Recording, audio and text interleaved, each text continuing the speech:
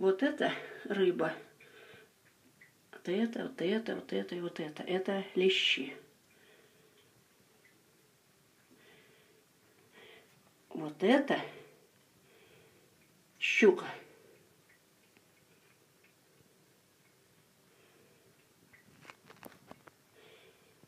А вот эти два это судаки.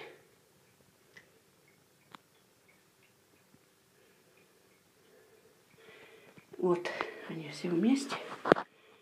И мне предстоит их чистить. От э, Политбюро с поздравлением наших хоккеистов в чемпионате мира 67 года.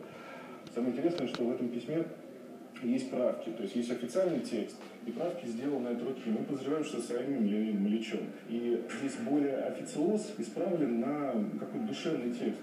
Кубках и медалях летопись побед. Большой вклад настоящего российского хоккея. Уже сегодня выставка открыта для посетителей, как и новая ледовая арена.